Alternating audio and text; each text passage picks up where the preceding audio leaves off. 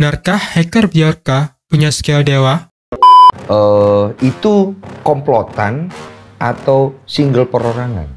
Tapi kalau diambil dari apa ya, spekulasi dari masyarakat yang beredar gitu, ada yang bilang dia sendiri, ada yang bilang berkelompok atau terafiliasi sih betul gitu. Jadi masih diduga-duga ya? Iya masih duga masih duga-dugaan gitu.